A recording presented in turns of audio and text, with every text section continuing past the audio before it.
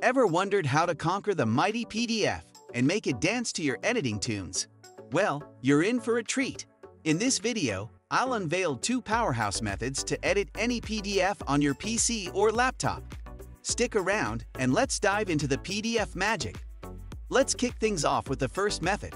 Open a PDF file that you're itching to edit. Now, attempting to edit a PDF directly might feel like hitting a wall.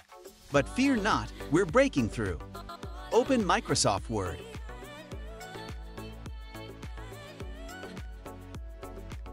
Tap on Open Other Documents in the bottom right corner.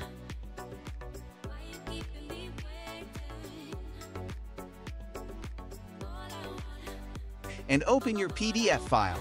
Press OK and like magic, you can now edit your PDF in Microsoft Word. Want to save it back as a PDF?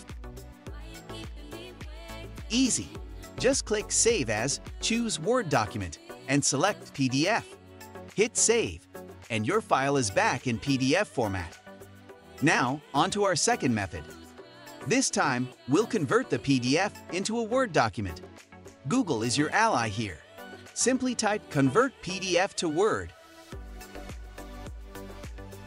Choose the first option. Select your PDF file.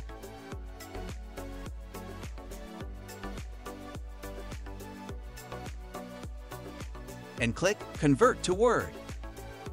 Download the converted file,